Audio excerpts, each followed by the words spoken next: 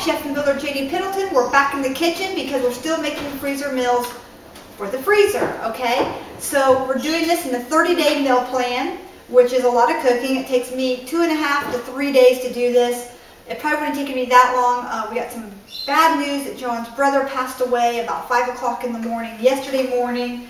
So I didn't get to making the food until that evening. So we were up till 5 o'clock in the morning. John ended up helping me uh, wash some dishes at the very end because I wasn't going to get it done. I need to get to bed. So we, had, we got the spaghetti and meatballs. We got the four entrees of that made. We got the four entrees of the uh, penne ricotta, con ricotta, Alfredo made. Long, long word, that's what it is. And then we got the, um, the chicken uh, Alfredo penne made as well.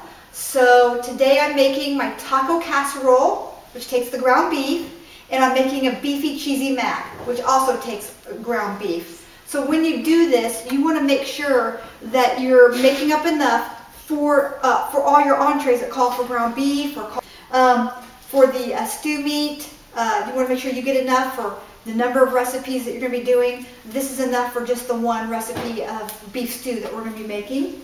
And what I'm going to do is I'm going to brown the ground beef. I'm going to put that into the other bowl, and then I'm going to go right into that same pan with a little bit of really hot, uh, you know, hot pan, cold oil. Let the oil heat up, and then we're going to sear the stew meat really well because we want to almost caramelize and seal that flavor into this stew meat. Okay, so you treat it a little bit different than you do hamburger. So we're going to do that next.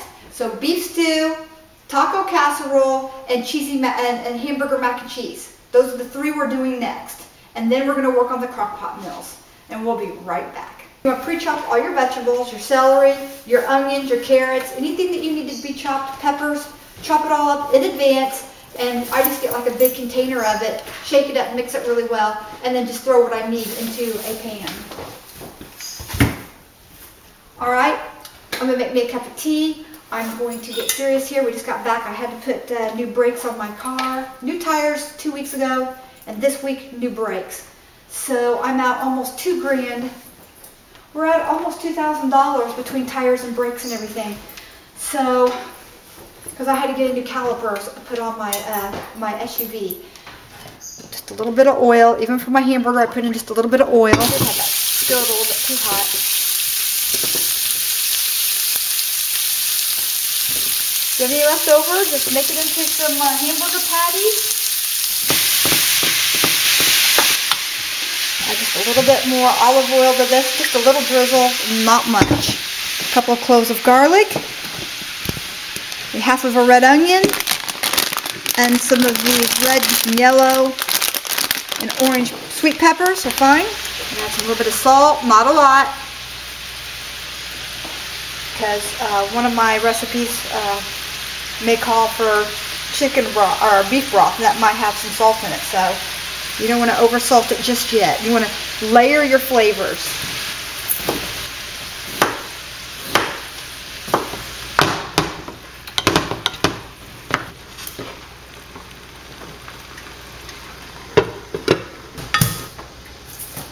put in about uh, four or five really small cloves of garlic. If they're big cloves, I'd say two or three. Oops. See, you can see mine were small. Try to aim it down so you don't splatter juice all over yourself. I'm just going to add the peppers. Okay, we're going to let this finish cooking. We've got our salt and pepper in here.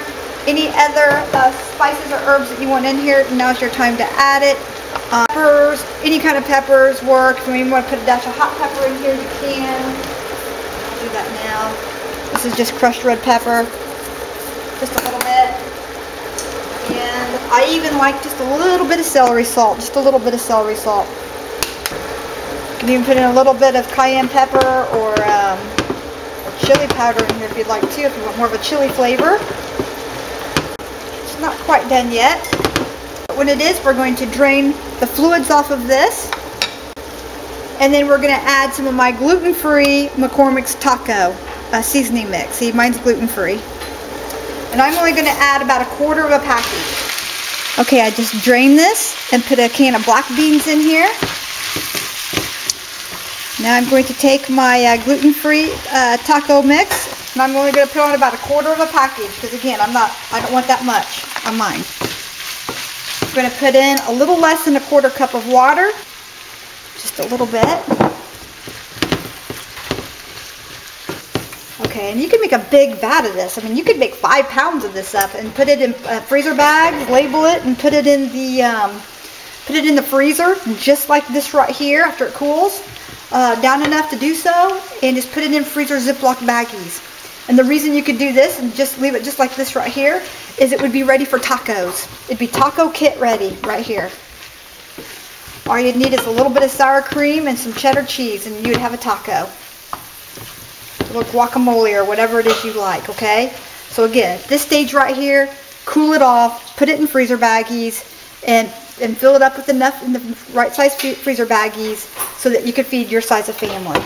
And then fill up some soft tacos or some uh, burrito shells, you know, whatever, corn tortillas, whatever you're, even if you make them fresh, you'd at least have the meat, you'd have all this part done. Less dishwashing, less headache. I mean, this would save you 20 minutes right here, 25 minutes off your kitchen um, baking time for a busy night, okay? So see, you can still have taco night and not spend all the time on it. And you can use this meat sauce in a lot of other things as well. We have feta cheese. We have um, our alfresco cheese. We're getting ready to crumble up that. We have our Fiesta blend cheese here. We have our soft tortillas. And these just fit right in here like this. These are just the flour tortillas. We got this size so they would fit in here perfectly. And then my homemade chili sauce. You can go right here, up over here, and I'll give you that recipe for my homemade chili sauce. Or your favorite chili sauce will work. See, doesn't that look delicious right there? And we're gonna start out by spraying the pan. I'll just do one of these so you can see it better. We're going to spray the pan so nothing sticks. We're going to put in one flour tortilla. These are nice and fresh. I just picked them up from the store. We're going to put down a layer of our chili sauce. Ooh, this looks so good. Mmm, that looks so good. Oh, it's like a sweet chili sauce. It is so delicious. Let me kind of blend that up just a little bit. There we go. Try to get to the edges. And then we're just going to put in a layer of our meat. Remember, one of these is going to feed two people.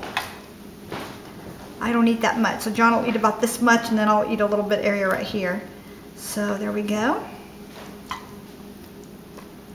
I'm just going to keep layering this all the way to the edges.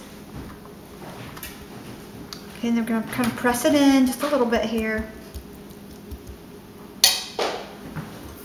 My hand.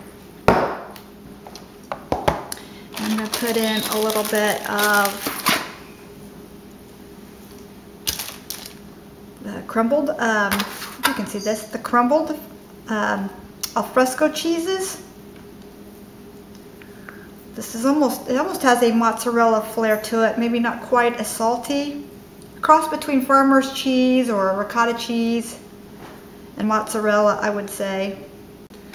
All right, a little bit of feta cheese, which I think has a nice, nice um, Nice sharp, nice, mm, nice sharp smell to it. It almost has a blue cheesy smell to it almost.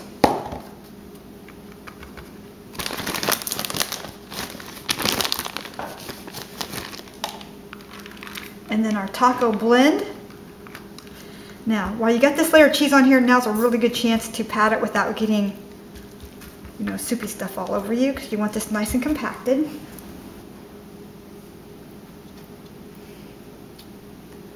And we like our olive, so this might take me a minute.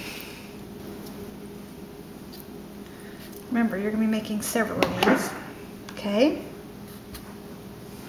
Now, we're going to do this again. Put on another layer.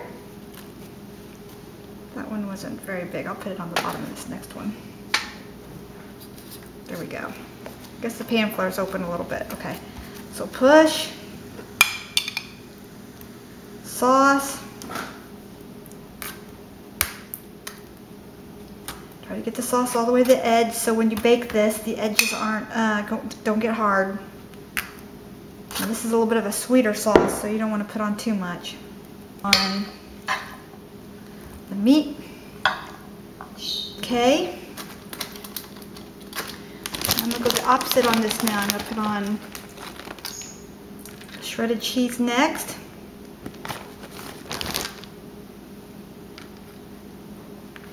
I like cheese all the way to the edge. All right, now we're going to crumble some of the alfresco back on here. Some of the feta. Now I'm to put this in the freezer. And I'm going to freeze this. I'm to label it, date it, and freeze this. It's good in the freezer for about four months. But this is our one month meal plan. So we're going to, um, we're to have it eaten up before then, hopefully.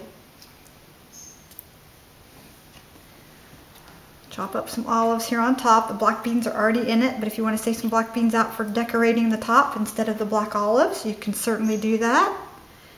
If you like green olives better than black olives, you can do that as well. Make this recipe your recipe and put however many spices and things in it that you like, okay? All right, so now what we're gonna do here now is these came with a lid. We're just gonna put these down just like this. We're gonna bend down our edges all the way around.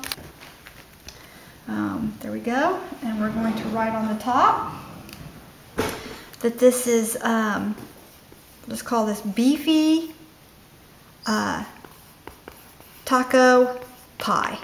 There you go. And it was made on 11, 18, 15. All right, and then I'll have my husband, I'll go ahead and finish pushing this down. And when you bake this, I guess I should write on here about when you bake it. Uh, directions. Bake at 350 degrees I should put on here thaw first. Thaw, one hour. Uh, one hour and then um, bake at 350 degrees for, um, I believe it's going to probably take about 25 to 35 minutes. In case I give one of these away. There. There you go. Make sure you get all this pinned down really well. Um, this basically serves three people. Okay, one of this size serves three people. So you can get larger um, tins and you can, uh, my husband and I, we really like this, so this will probably not have any leftovers for us. But if you got a couple of small little ones in the house, you can probably stretch this to three or four, okay? For that size. And I mean, this is a good couple pounds right now. I feel like it's about, about almost two pounds in, in weight. So, so anyway, leave me a comment below. Let me know what your favorite freezer meal is that you put up into the freezer, what your kids like, or if you want to leave a recipe below for us all to share in for how you do it. Boy, we would love to hear from you on that. And maybe I'll even make a video of it and even give it a try and give you credit. That would be fun. We love you. Be sure to hit the subscribe button because there's more where this is coming from. Blessings.